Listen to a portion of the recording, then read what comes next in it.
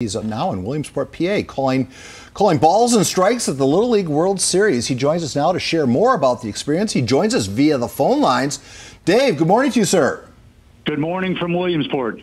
Good morning. How many games have you officiated so far in this get together? Uh, I've already done five games, and uh, four of those were base assignments. I had the plate yesterday on uh, on ESPN.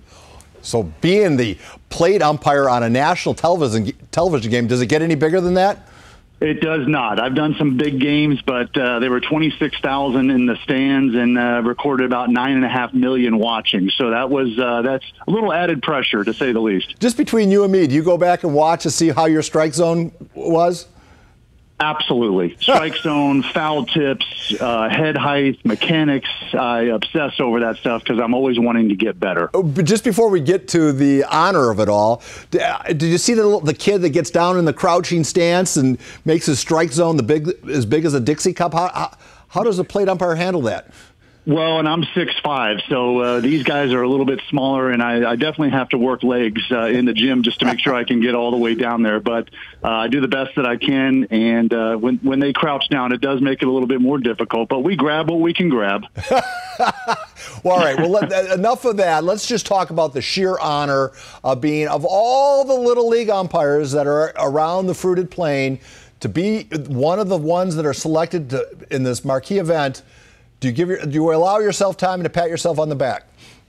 You know, I do, but it's uh, it's been a, a long journey. You know, I got the letter in January that I was selected to work the, the League World, uh, World Series, and uh, it hit me there, but it's hit me a little bit more each month. And then, of course, when I got here, um, I, I feel like I've had a lump in my throat for a week just because of the honor and and not only that, all the people that I bring with me. You know, I've all the guys I've worked with and, and gals umpiring over the last 18 years, and, and just my community of Poway and all of San Diego County.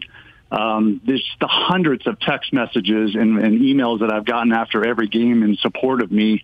All of those people in my community are with me while I'm here.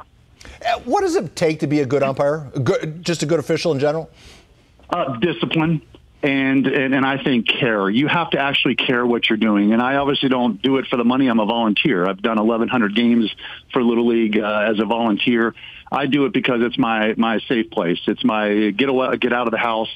And, um, and I'm just addicted to my craft. It's just like somebody who golfs or fishes. Um, right. You know, some do it for the money, and, and that's not me. I do it because I I enjoy it, and I just love the the umpires that I work with, the camaraderie. I know competitive juices flow uh, whenever you get a, a, competition, but the tender moments when a kid, when it doesn't go right for a kid between often an umpire and a youngster or a coach and a youngster that are caught on camera, to me, those are the moments that make the Little League World Series special. It almost brings a tear to your eye as then you realize, hey, these are just you love, you know, these are young, these are boys, and they're right. learning how to become men. And those moments, I think, are incredibly tender. And I, that's why I like to watch Dave. And if you're part of that, God bless.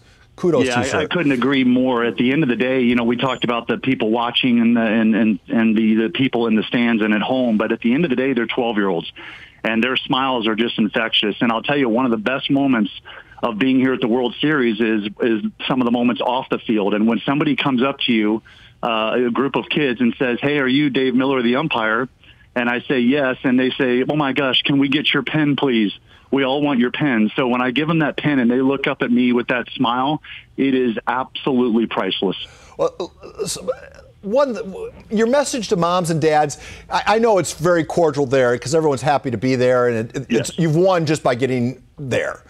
But along the way, you encounter the abusive mom and dad occasionally. And what's your message to them, the people that are kind of living vicariously through their kids? Uh, at the end of the day, it's about your kids. It's not about you. And the parents that get caught up and and trying to get them to the right pitching coach and the right hitting coach, and their kid is better than the other kid. At the end of the day, just let your kid have fun and let them decide what they want to do. Uh, so many parents will push their kids to do something and they find out 15, 20 years later they never wanted to do it. And maybe they missed out on something else. So just let them be kids and, uh, and support them in whatever they want to do. Dave, I can't think of a better line to leave us on. Uh, we, we wish you the best luck the rest of the way, and I look forward to watching you on TV.